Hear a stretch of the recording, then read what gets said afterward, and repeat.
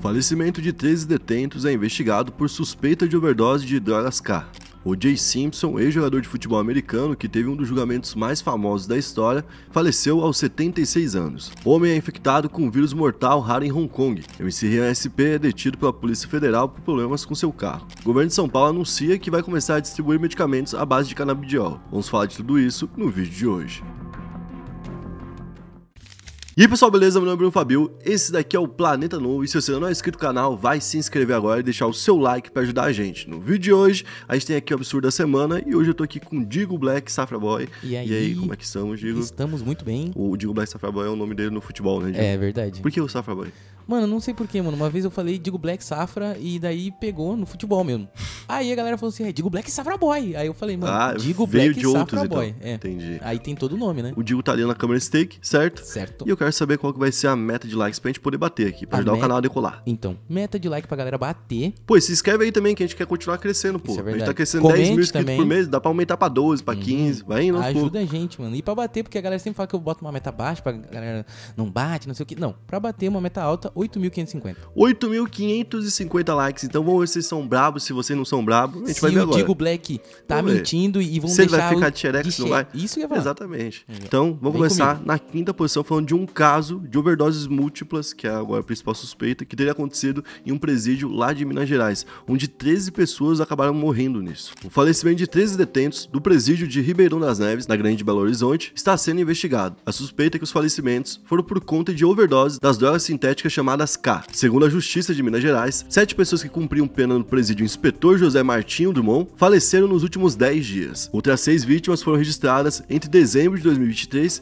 e março desse ano. A Justiça agora está aguardando laudos periciais e disse que os presos não aparentavam lesões aparentes. E aí tem uma questão, né? Como que isso pode acontecer dentro da cadeia, né? Como que pode ter tanta overdose, sendo que não pode ter nenhum tipo de substância do tipo lá, né? É verdade. é, não pode ter em nenhum local, inclusive, é proibido, né?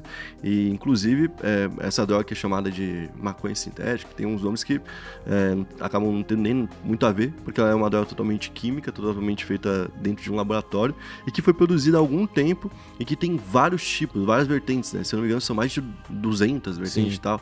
Então tem ah, desde a 1 até a 200, tá ligado? E quem fez naquela época tava tentando fazer um remédio, não conseguiu chegar no resultado que queria, e o processo deveria ter sido descartado. Mas alguém descobriu que aquilo lá de alguma forma é, deixava a pessoa alucinada e tal, e começaram a usar para fim recreativo, só que não tem fim recreativo, porque a pessoa não consegue voltar ao normal. A pessoa começa a fumar ou começa a inalar aquilo ali e não consegue sair do vício, vive literalmente como um zumbi, né? Inclusive até uma substância que aqui no Brasil costuma ser proibida por facções. As facções não costumam tolerar ela porque sabe como que a pessoa fica. Não é interessante de nenhuma forma. Você vai para pensar até eh, na parte lucrativa, né? Se o cara não tiver nenhum sentimento e pensar só no lucrativo, por, por que, que eu quero matar o meu usuário em uma semana? Em 10 dias. É pra quê? Tá? Então isso de alguma forma chegou no presídio e o presídio falou que tem ali revistas que são feitas meio que diariamente, né, Pra saber como que tá é, a prisão, se alguém tem uma faca, alguma coisa escondida, mas que de alguma forma aconteceu isso. Então, tipo assim, tem uma revista e ela não tá funcionando. É isso que foi dito, né? E o problema dessa droga é que ela, pode ser borrifada, né? Ela pode ser borrifada em papel, pode ser bor- borrifada em qualquer superfície, e daí, a partir disso, a pessoa pode usar, né? É, então, então, tipo, teria que ter algum tipo de controle maior por conta disso. É né? uma- Porque- um outro tipo de revista agora, É, né?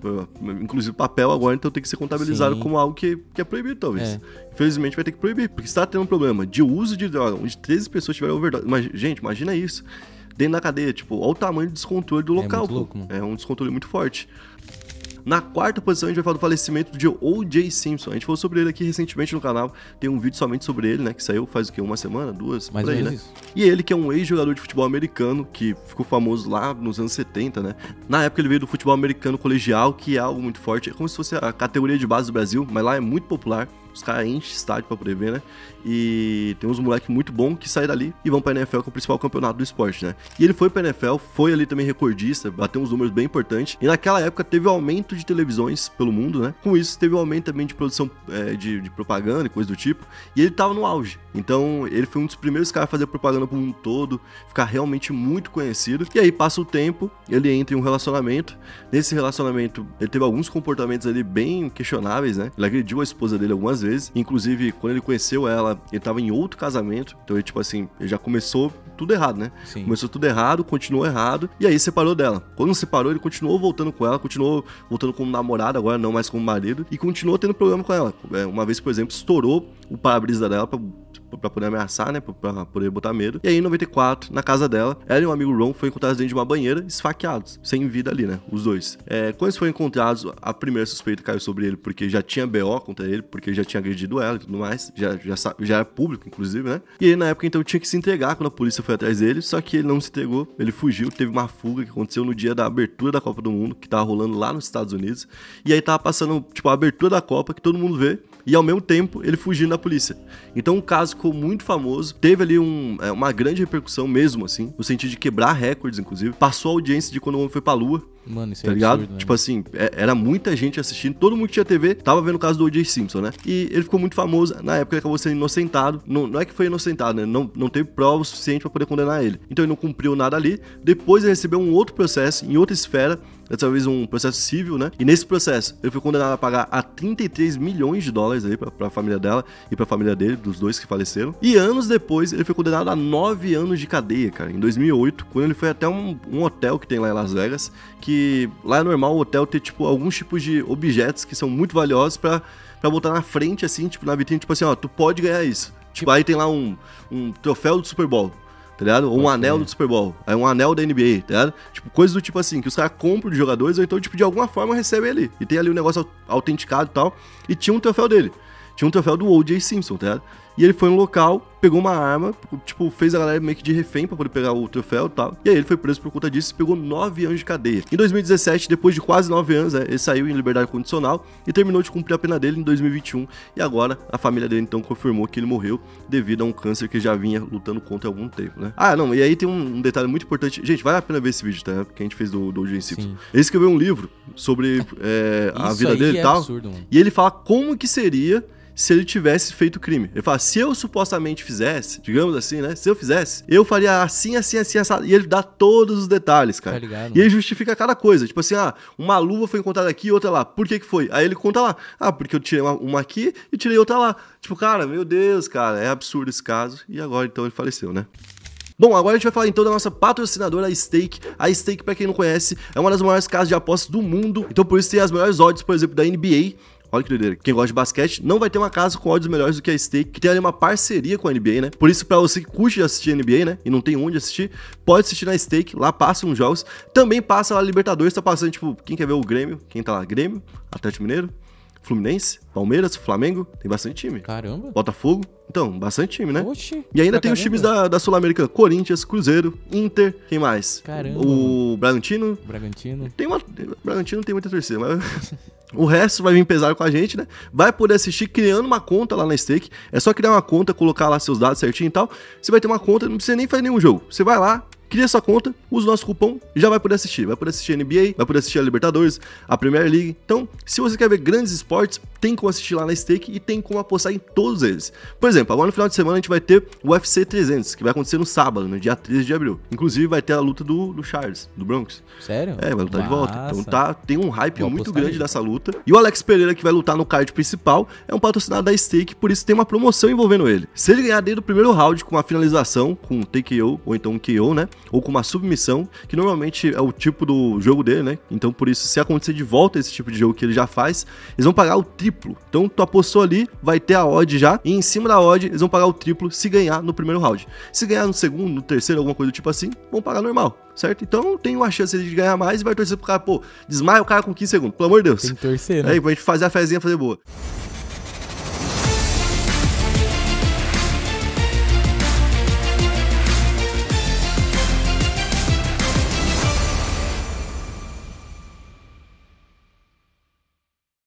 Então use o nosso cupom Planeta Novo e boa sorte. Na terceira posição, a gente vai falar de um vírus que foi encontrado lá em Hong Kong, que é um vírus totalmente raro. Um homem de 37 anos está sendo observado nesse momento pelas autoridades, porque pegou um vírus que é extremamente perigoso. Basicamente, o Centro de Proteção à Saúde de Hong Kong diz que ele foi infectado com o vírus B, que também é chamado de herpes vírus simiae, ou seja, é um vírus que vem dos macacos. Ele é uma pessoa que estava totalmente normal, que não tinha nenhum tipo de doença, e que teve contato com um macaco e foi mordido por um deles. Certo? Só que quando ele foi passar mal, já tinha passado 30 dias que ele tinha sido mordido. Então ele não chegou a ligar uma coisa com a outra ime- imediatamente, né? Teve ali uma febre, depois de uma febre ele desmaiou, passou mal, foi levar pro hospital. Quando chegou lá, tiraram um líquido da espinha dele do cérebro. Olha que doideira. Então, tipo, já tava afetando locais bem importantes dele. E aí descobriram que ele tava infectado com esse vírus. Esse vírus atingiu até hoje cerca de 50 pessoas na história, mano.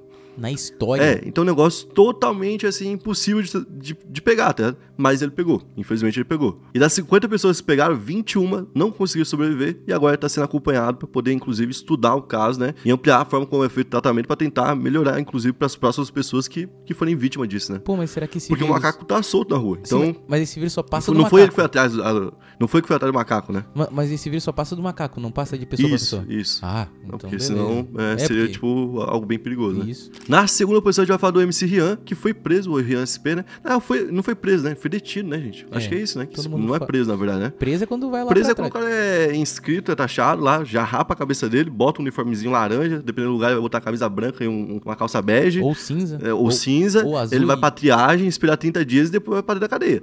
Isso é ser preso. Né? Quando o cara vai levar pra delegacia pra responder alguma coisa, ele tá sendo detido, ou às vezes tá sendo. É, como é que fala? É, De- co, como é? Coagido a depor. É tipo isso. Ele foi convencido a depor. Ah, entendi. Entendeu? De alguma forma. Tanto é que um negócio. Agora eu falei assim brincando, que obviamente poderia ser um negócio sério, né? Um negócio muito sério. Mas o que falaram que foi era, era um bagulho meio que bobo, né? Ele falou que ele tava gravando dois clipes no mesmo dia e que ele ia usar os carros que ele tem e que ele comprou um carro, que é uma Ferrari de quase 4 milhões de reais.